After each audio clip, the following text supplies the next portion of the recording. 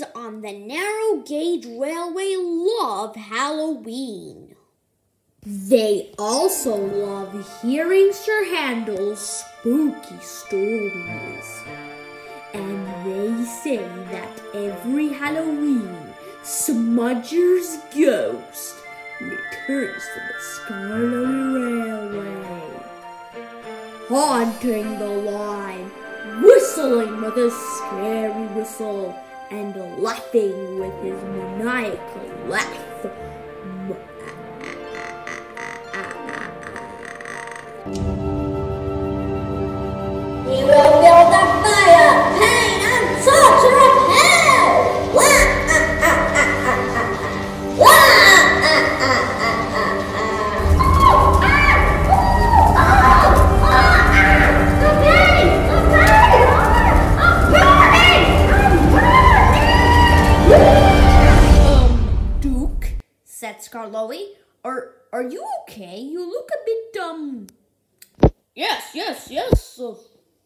I'm okay. I'm 100% okay. Uh, there's no such things as ghosts. Uh, carry on, Sir Handel. You're scared that Smudger will come back and he will get his revenge on you. Rubbish! He won't come back. Huh, little scallywag. Just then, Mr. Percival arrived. Sir Handel, Duke, I would like you two to double-head a goods train to Crovan's Gate. Yes, sir. the two engines said. The two engines soon arrived at the yards. Careful the ghost doesn't get you, Sir Handel said. Pah! Rubbish! Smudger will never come back.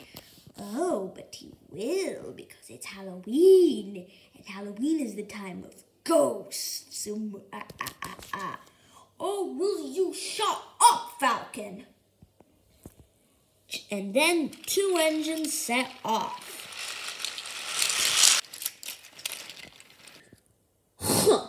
Sir Handel thinking that I'm scared of Smudger's ghost. Rubbish! Oh, but we might see him. Oh, shut up already, Falcon! But then it happened. As they were going through a forest, a thick fog came. The line was covered in a blanket of thick fog. Wait, I see something! What's that? called Sir Handel. It was a sign that said, Beware of the ghost. The driver was confused. What do you mean, beware the ghost? He said. Uh, I think it's best if we go on. So the two engines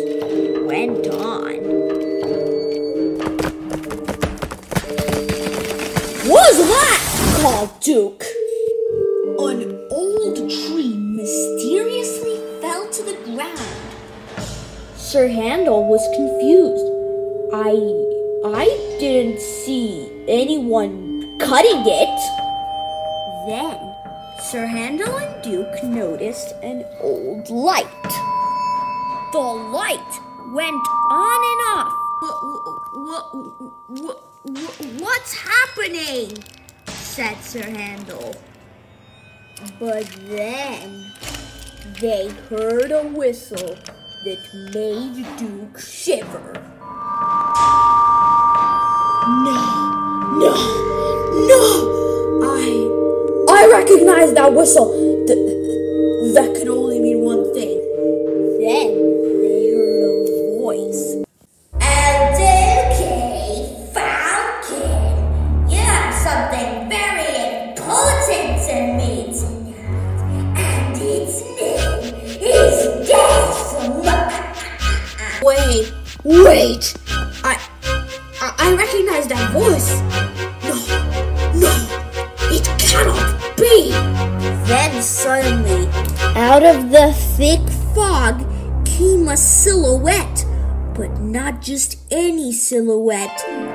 ghost of Smudger.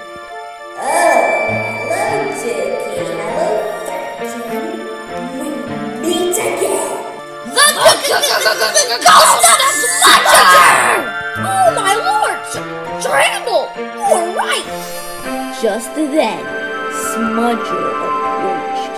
He went closer and closer and closer and eventually stopped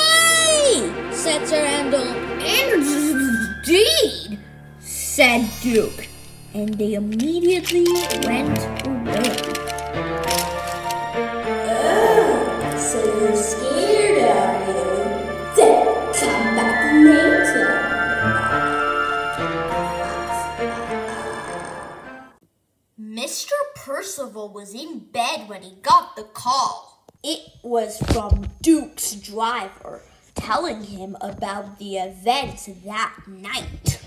What? said Mr. Percival. So you've just seen a ghost, eh?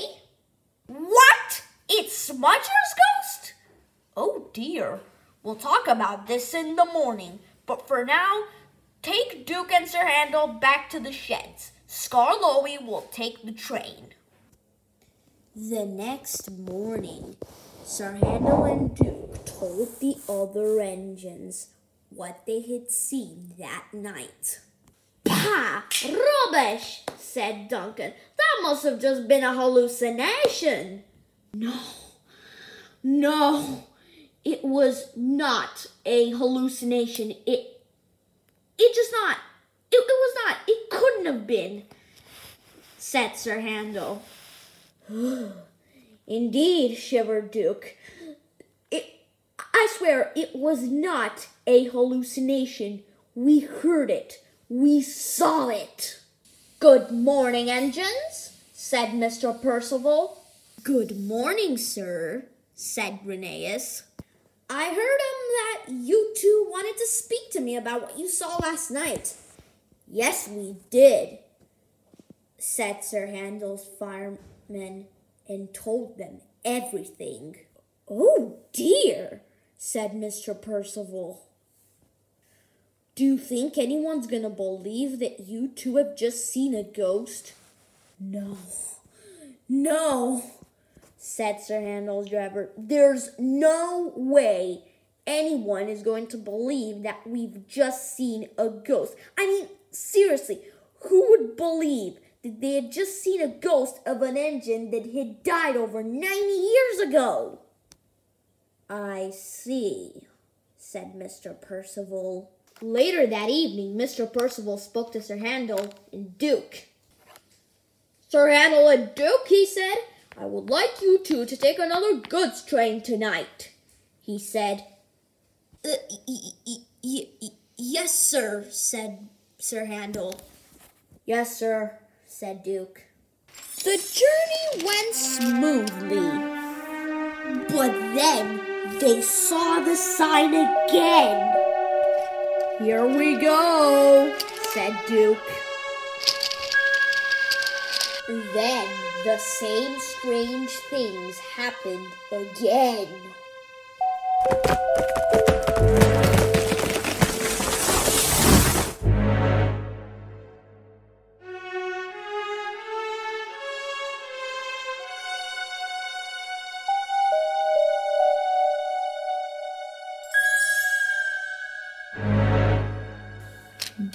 Then, as they approached the same area they had found Smudger's ghost, they heard his voice again. Oh, so you've come back, have you? Come on, god damn it, show yourself! Oh, so you want to do this face to face? Do you now? Yes, we do, bellowed Sir Handel.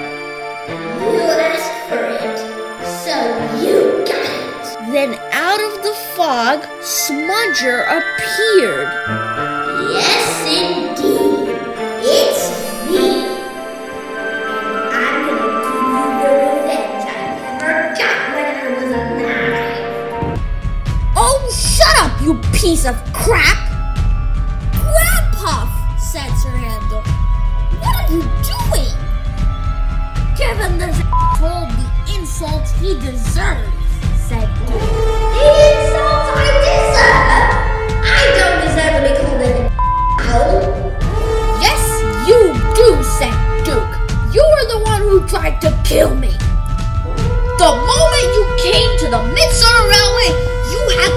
worst attitude I've ever seen an engine have.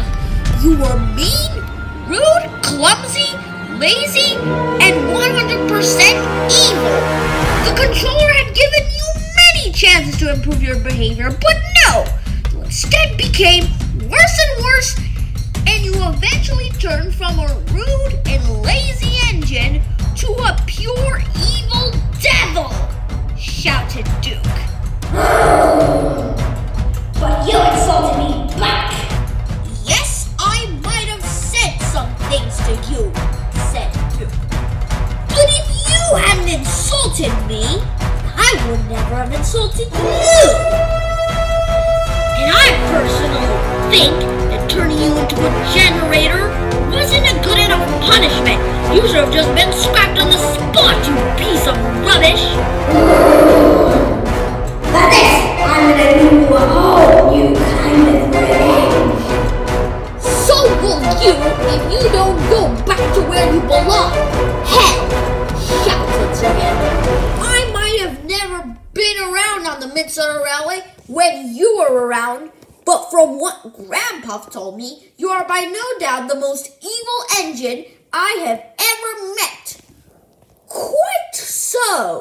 Said Duke. I'm gonna get my revenge on you. I'm gonna pay you two back for what you said to me. Ah, ah, ah, ah, ah, ah, ah. Uh, g- g- g- g- Grandpa said, Sir Handel, this isn't working. I, I, I think it's best if we get out of here. So do I, agreed Duke, and the two engines ran away. Get back in. I'm not done with you until you're dead. And Smudger chased the two engines. But Chase was on.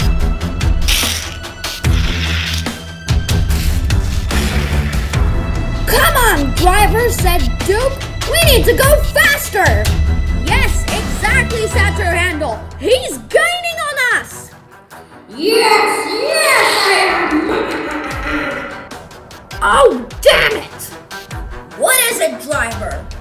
We've been sent onto the wrong line and now we're heading for Crovan's Gate Station. What? said Duke. We gotta warn everyone. That's what I'm doing now, said the fireman.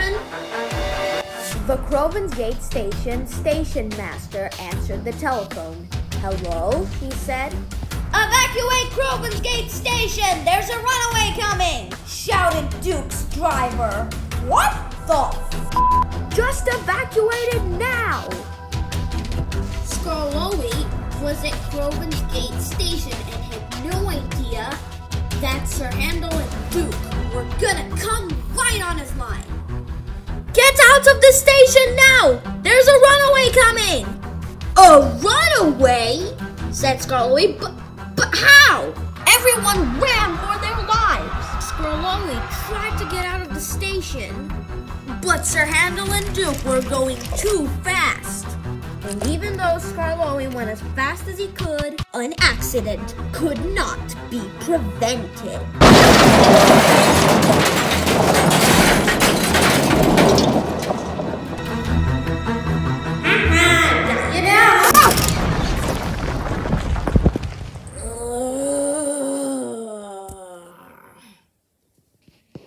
The mess was terrible.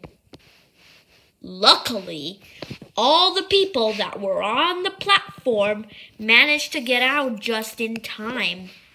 But Sir Handel's and Duke's crews had severe injuries. But then Sir Handel realized something. Wait, wait, wait, wait, wait, wait a minute, he said. I just realized something. If Smudger is an actual ghost, then he wouldn't have crashed into our mess, he said. He he would have just vanished away. Come to think of it, Falcon, said Duke, when we saw Smudger's ghost, he didn't really look like a ghost. He looked like an engine. That's because this was a prank. I'm not Smudger's ghost. Wait a minute, said Sir Handel. Smudger wasn't Scottish. That could only mean one thing. Duncan! Yeah, yes, it's me. But it was all Peter Sam's idea. But just one question, said Sir Handel.